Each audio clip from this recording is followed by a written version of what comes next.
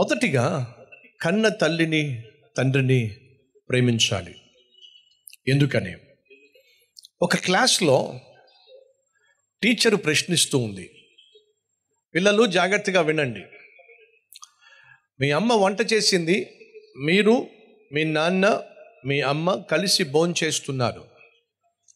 మీ అమ్మ మూడు chicken pieces చేసింది. మూడు చికెన్ లెగ్ పీసెస్ చేసింది. ఒక్కొక్క ప్లేట్లో ఒక్కొక్క ముక్క పెట్టింది. ఇప్పుడు నీ ప్లేట్లో ఎన్ని ముక్కలు ఉంటాయి అని చెప్పి ఒక స్టూడెంట్ని లేపి ఒరే చెప్పరా. వాడు లేచి నిలబడ్డాడు. టీచర్ మీరు వేసిన ప్రశ్న నాకు బాగా అర్థమైంది. నా ప్లేట్లో రెండు ప్లే రెండు పీసులు ఉంటాయి అన్నాడు ఒరే నా ప్రశ్న నీకు అర్థం కాలేదురా. మీ అమ్మ మూడు లెగ్ పీసులు చేసింది. నువ్వు మీ నాన్న మీ అమ్మ ముగ్గురు మూడు ప్లేట్లు పెట్టుకున్నారు. మీ అమ్మ ముగ్గురికి ఒక్కొక్కరికి ఒక్కొక్క పీస్ వేసింది. ఇప్పుడు నీ ప్లేట్లో ఎన్ని ముక్కలు ఉంటాయి వాడు అంటాడు రెండు ముక్కలు ఉంటాయి ఒరే నీకు అర్థం కావట్లేదురా. ఆ స్టూడెంట్ అంటాడు మేడం మీకు అర్థం కావట్లా. ఏం అర్థం కావట్లేదు నాకు? మా అమ్మ ప్రేమ ఎంతో ఎలాంటిదో మీకు అర్థం కావటల్లా మూడు ముక్కలు ఒకవేళ మా అమ్మ చేసినట్లయితే మా నాన్నకు ఒక ముక్క వేస్తుంది. తన ముక్క కూడా నాకే వేస్తుంది. రెండు ముక్కలు వేస్తుంది నాకు. ఎందుకని? మా అమ్మ అంత ప్రేమ కలిగిన అమ్మ. ప్రియ సహోదరులు సహోదరులు ఈరోజు అమ్మ ప్రేమను నాన్న ప్రేమను మర్చిపోయి మనం జీవిస్తున్నాం. దురదృష్టం. వృద్ధాప్యానికి వచ్చినటువంటి అమ్మను నాన్నను మనం ప్రేమించాలి. ఇప్పుడు క్వశ్చన్ ఎంతకాలం ప్రేమించాలి? ఆ తర్వాత ఎంతకాలం పోషించాలి? వివరంగా చెప్తాను. ఇది కొంచెం కొంతమందికి ఇబ్బంది కలిగించే సందేశమే. ఆయన అంగీకరిస్తే ఆశీర్వాదం. యాకోబుకు ఒక కొడుకున్నాడు. అఫ్కోర్స్ యాకోబుకు పన్నెండు మంది పిల్లలున్నారు అనుకోండి వారిలో ఒక కుమారుని బహుగా ప్రేమించాడు. ఎవరు ఆ కుమారుడు చెప్పండి? యోసేపు. ఆది కాండము ముప్పై ఏడవ అధ్యాయము. రెండవ వచనం చదువుతున్నాను. కనాను దేశంలో నివసించను. యాకోబు వంశావళి ఇది. యోసేపు పదు నేడేండ్ల వాడై తన సహోదరులతో కూడా మందను మేపుచు ఉండెను. అతడు చిన్నవాడై తన తండ్రి భార్యలైన బిల్హా కుమారుల యొద్దను జిల్పా కుమారుల యొద్దను ఉండెను. యోసేపును యాకోబు ప్రేమించాడు. యోసేపు వయసు ఎంత? పదిహేడు సంవత్సరాలు. దయచేసి గమనించండి.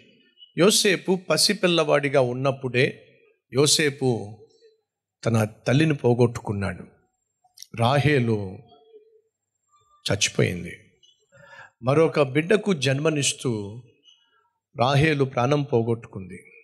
యోసేపుకు అమ్మ ప్రేమ లేదు అని చెప్పి యాకోబు తానే అమ్మాయి నాన్నై యోసేపును అల్లారు ముద్దుగా ప్రేమించాడు పెంచుకున్నాడు. మిగతా వాళ్ళందరికీ అమ్మ ఉంది నాన్న ఉన్నాడు.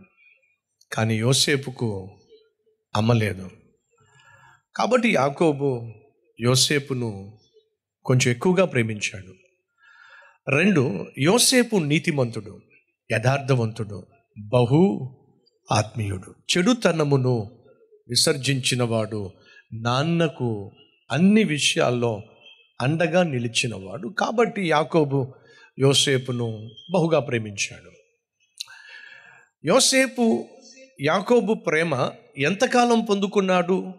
పదిహేడు సంవత్సరాలు అని బైబిల్ సెలవిస్తుంది. రైట్? యాకోబు యోసేపును ప్రేమించాడు యాకోబు యోసేపును పోషించాడు.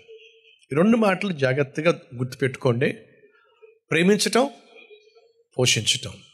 యాకోబు ఎన్ని సంవత్సరాలు యోసేపును ప్రేమించాడు? పదిహేడు సంవత్సరాలు. ఎన్ని సంవత్సరాలు పోషించాడు? పదిహేడు సంవత్సరాలు. ఆ తర్వాత కూడా ప్రేమించినప్పటికీ యోసేపు తన కన్ను చూపు మేరల్లో లేడు. ఒక విషయం మర్చిపోకండి. ఈ లోకానికి నిన్ను నన్ను పరిచయం చేసింది అమ్మా నాన్న. ఈ లోకానికి నిన్ను నన్ను పరిచయం చేసిన అమ్మ నాన్నను లోకానికి పరిచయం చేయడానికి ఎప్పుడూ సిగ్గుగా భావించద్దు. ఎందుకని? వాళ్ళే లేకపోతే నీకు ఈ లోకంలో పరిచయం ఎక్కడ చెప్పండి? సహోదరి సహోదరులు ఈరోజు అమ్మను పరిచయం చేయడానికి నాన్నను పరిచయం చేయడానికి నామోషిగా ఫీల్ అవుతున్నాం. కానీ వినండి ఐగుప్తు దేశాన్ని పరిపాలిస్తున్నటువంటి చక్రవర్తి అయినటువంటి ఫరో ఎదుటకు కుంటుకుంటూ వస్తున్న తండ్రిని తీసుకెళ్ళి ఫరో. మా నాన్న. ఏమిటి? మా నాన్న. పరిచయం చేశాడండి. కారణం తెలుసా? ఉన్నతమైన వ్యక్తిత్వం కలిగిన వాడు. తల్లి తండ్రి వాళ్ళు ఎంత పేదవాళ్ళైనా లేదా అవిటి వాళ్ళైనా బలహీనులైనా చదువురాని వాళ్ళైనా నువ్వు కన్న కొడుకువు కన్న కూతురువి అనేటటువంటి ఇంగిత జ్ఞానం నీకు ఉన్నట్లయితే అమ్మను నాన్నను లోకానికి పరిచయం చేయడానికి ఎప్పుడు వెనుకంజ వేయనే వేయం. ఉన్నతమైన వ్యక్తిత్వాన్ని గురించి విన్న తర్వాత లోకానికి పరిచయం చేయకుండా ఎలా ఉంటానమ్మా? ఎలుగెత్తి చాటిస్తానమ్మా నా తల్లి చాలా గొప్పది అని. సహోదరి సహోదరులు నీ తల్లిని గురించి నీ తండ్రిని గురించి ఏ రోజు కూడా తక్కువ చేసి మాట్లాడద్దు అలాగే హేళనగా మాట్లాడద్దు. అంతేకాదు లోకానికి పరిచయం చేయాల్సి వచ్చినప్పుడు ఎప్పుడు కూడా అమ్మను నాన్నను పరిచయం చేయడానికి వెనుకంజ వేయొద్దు. యోసేపు ఎంత గొప్ప వ్యక్తిత్వం గలవాడో తెలుసా? తన తండ్రిని ప్రేమించాడు కాబట్టే రాజు ఎదుటకు తీసుకువెళ్ళాడు. కానీ తండ్రి కుంటివాడు. కుంటుకుంటూ కుంటుకుంటూ వస్తున్నాడు. ఈ కుంటోడిని ఏం పరిచయం చేస్తా? ఈ ముసలోడిని ఏం పరిచయం చేస్తా? అనుకోలేదండి. ముసలోడైతే ఏమైంది? కుంటోడైతే ఏమైంది? చదువు లేనివాడైతే ఏమైంది? ఆకారం లేనివాడైతే ఏమైంది? ఈ లోకానికి పరిచయం చేసింది ఆయనే. అమ్మ నాన్న నిన్ను ఈ లోకానికి పరిచయం చేశారు. వారిని ఈ లోకానికి పరిచయం చేయడానికి ఎప్పుడు నువ్వు నామోషి ఫీల్ అవడానికి వీలు లేనే లేదు.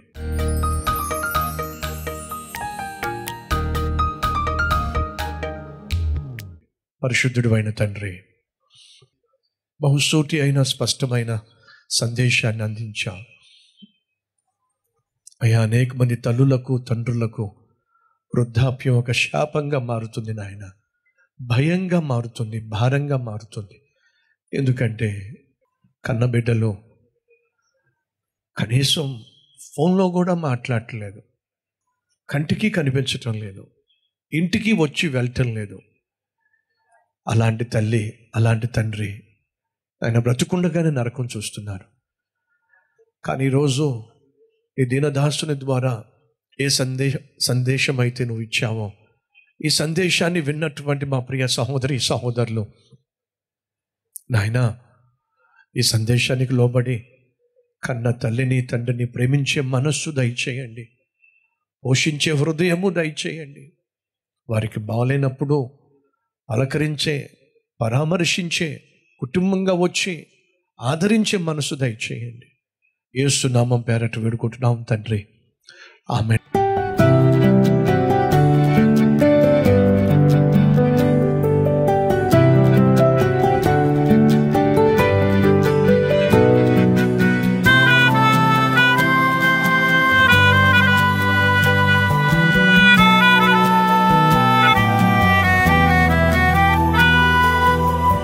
సందేశం మీకు ఆశీర్వాదకరంగా ఉంటే పది మందికి షేర్ చేయండి లైక్ చేయండి మీకు నచ్చిన కామెంట్ పెట్టండి. మళ్ళీ రేపు ఇదే మార్నింగ్ డివోషన్లో కలుసుకుందాం. షలో